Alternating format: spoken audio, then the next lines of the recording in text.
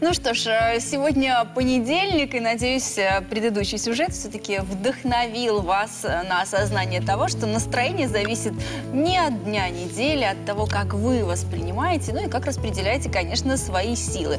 А еще настроение во многом зависит от того, звучит ли музыка.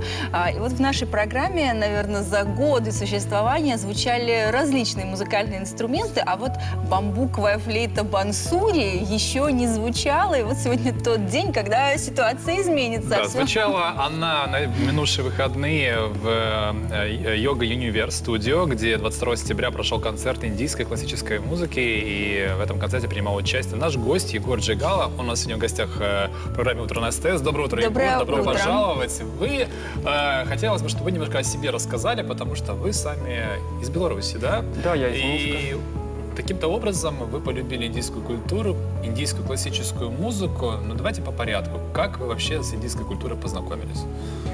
Ну, я познакомился еще лет 15 назад, когда услышал э, записи э, известного ситариста, его зовут Рави Шанкар. И вот я ознакомился с записями, не совсем я понял, э, за- э, как бы Это была лю- любовь не с первого взгляда. не с первого взгляда, но что-то я как-то так задела эта музыка меня, и какое-то семя все-таки появилось э, любви к этой музыке, да. И постепенно, постепенно я еще тоже э, играл на классической флейте, на э, серебряной флейте. И постепенно я один раз услышал индийскую флейту, и она меня просто очаровала.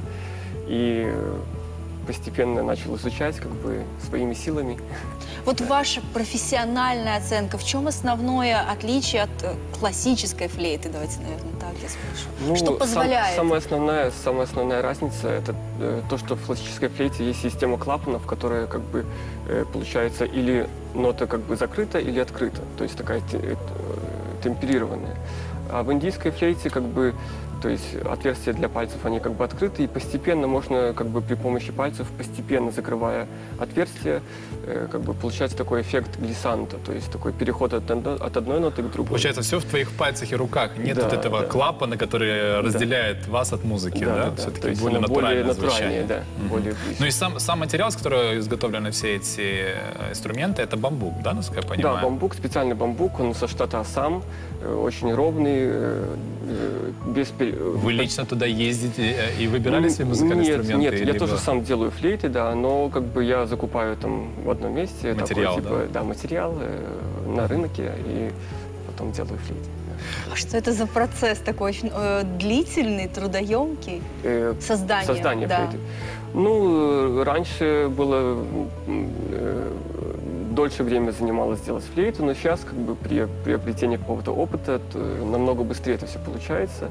Вот. Но главное как бы особенность то, что нужно как бы правильно настроить ее, потому что это инструмент, который э, один раз настроив, э, как бы уже не, не требует подстройки, как гитара там или какой-то другой инструмент. У нас здесь в студии шесть представленных флейт, насколько мы знаем, вот за кадром, просто Егор их не все при- принес на студию, еще, наверное, штук 20, или если не больше, они все разные, либо есть дублирующие. Есть Чем они дублирующие. отличаются одна от Я другой? еще тоже тут проводил мастер-класс, поэтому некоторые флейты я взял для того, чтобы людям показать, как бы, чтобы какие-то основы показать э, игры на флейте, бансури.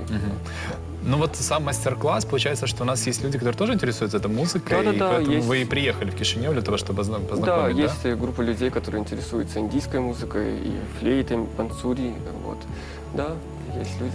Вы учились в Индии, и вы много гастролируете э, по Европе, тоже в том числе вот по, Ин- по Индии. Как э, воспринимают там вас, европейского человека, который берет в руки индийскую флейту и э, прикасается вот таким образом в- к другой культуре? Да, это интересно. Мне вот, э, я расскажу немножко предысторию, что мне выпала такая возможность именно по стипендии учиться в Индии. Это через посольство в Беларуси. И мне как бы предложили э, э, по программе определенной как бы учиться. И в Дели э, три года я как бы учился в э, музыкальной консерватории по флейте именно индийской. Вот. Э, Значит, э, по поводу, как люди Да, воспринимают... да, как воспринимают, это же интересно. Э, Ну да, они очень интересно, как бы, когда ну, как бы культуру Индии как- иностранец э, э, как бы играет именно иностранец и э, Доброжелательно ли Да, воспринимают очень это всё? доброжелательно, очень доброжелательно, очень почтительно, и им очень нравится, когда э, культура их как бы страны как бы э, как бы интересуется иностранцы. да. Мгм. Но когда я учился, как бы там много было людей со всего мира, то есть эта программа, по которой я учился, она как бы по всему миру и с Европы, и с Америки, и с Японии, со, со всех стран были студенты. Вы знаете, что меня заинтересовало? Само сочетание слов индийская классическая музыка. Мы не так часто слышим о классической индийской музыке, часто мы слышим о меди- медитативной какой-то музыке индийской. Это музыка, которая используется в йоге, в меди- медитации. Но вот классическая музыка индийская нам не знакома. Можете вы- Ну вот или Болливуд, например, да, тоже. То есть, да, есть э, как бы понятие класс- классической музыки индийской, а есть понятие как бы такой легкой или э, популярной музыки. Но, в принципе... которая в фильмах играет? Да, которая в фильмах в? Голливуде, да. Но как бы основа как бы любой, как бы почти любой музыки в Индии, она лежит как бы именно в классике. То есть классическая музыка это как бы основана на рагах. Рага это форма классической музыки. Что такое рага, если в европейском понимании, это, наверное, сказать, ну, упрощенно, это э, как бы э, определенный лад, то есть определенный строй, по которому э, играется муз- э, композиция. И э, э, то есть в индийской классической музыке характерны вот как раз таки вот эти глиссанды, которые, э, то есть переход с, одного, с одной ноты на другую.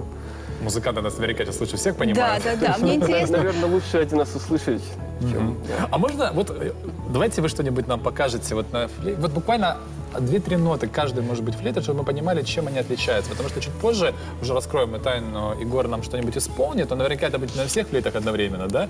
вот, поэтому хотелось бы послушать каждый, как звучит. И можно вообще вот подержать ее в руках и попробовать, конечно. может, самому что-нибудь сыграть? Да, Денис, да, да, да, ты даже не знаешь, как схватиться. подожди, дай я догадаюсь. Давайте Ну, все-таки... Дуть надо сюда, правильно? Вот сюда вот. Ну вот, Да. Да. Так. Не-не-не, вот переверните. Ага, вот с этой вот, да, стороны. Так, а это значит выпускной клапан, получается. Да-да-да. Так, хорошо. И вот это отверстие для закрывания. Мгм. Так, можно попробовать, да? Вот? Да, можно попробовать. Так, хорошо. Ну, Давайте попробуем сыграть в дуэте. Ну, Так, пока ничего не получилось, а, сама техника. Техника, сначала как бы нужно, тут немножко э, такая трудная техника именно Попадание. звукоизвлечения, да. То есть тут воздух, он рассекается как бы э, на две части, э, и возникает звук. Вот, например.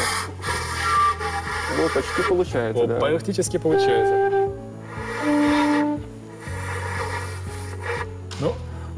Короче, в общем, первый по- не очень получился. За лучше кадром профессионал это покажет. Я думал, что это намного проще, честно вам скажу. Да, ну вот есть разные как бы флейты, то есть разного размера, есть маленькие, есть побольше. Слушаем каждую из них, да. Да, вот, например.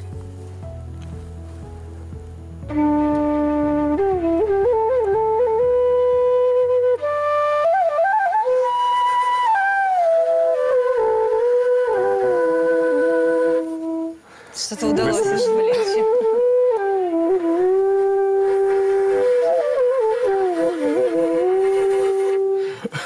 Мне интересно, в произведениях, которые вы исполняете, это- есть, присутствует импровизация или это все-таки... Да, вот этим как бы мне интересно было, почему я как бы э, интере- заинтересовался этой музыкой, потому что она очень близка, да, к джазовым импровизациям, э, потому что как бы есть определенные законы в раге, то есть по которым нужно следовать, но очень много свободы, творческой свободы. То есть можно позволить выражения, да. настроению вот на данную Да, на- секунду, на- да, настроению как бы выразить себя, да, через рагу. То есть получается через какую-то мелодию, через э, определенные как бы там законы можно э, полностью свобода есть выражение. Это, конечно, что-то новое, совершенно необычное, к чему мы прикасаемся. А, Я знаю, что вы э, исполните для наших телезрителей. Э, Может быть, вы скажете, что это будет, что это за произведение? Это будет утреннее, как бы все раги, получается, есть определенное время для игры, то есть, например, для исполнения. Есть, например, утренние, дневные, вечерние, ночные раги. И вот я сыграю сегодня одну э, утреннюю рагу, она называется Над Бхайрав. Итак, э, буквально мгновение, и мы перенесемся на другую площадку для того, чтобы пробудиться под звуки музыки.